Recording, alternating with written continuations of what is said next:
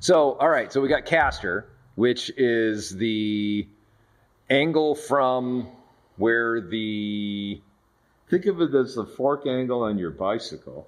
ah perfect. Hey, look at that. Yeah, I like it. All right. So the uh, beginning fork angle and how much uh, the distance between that and where it would normally drop to zero, right? Perpendicular to zero. That's the uh, caster trail, and that gives the self-aligning torque. Right. And so the degrees are the degrees of that triangle that's made at the the point where they join, Hmm. correct? I remember trying. I I uh, had the chance once a long time ago to ride a 1930s bicycle, and I probably fell Oh over damn! ten times. The, like giant tire with the Well, not back giant. tire? It's when they went smaller, but the steering axis in that was vertical right? because it was like a steering wheel and the back was cut off. yeah, you're like But if you did anything, it would just yeah, just dunk complete un unself over, right? Yeah.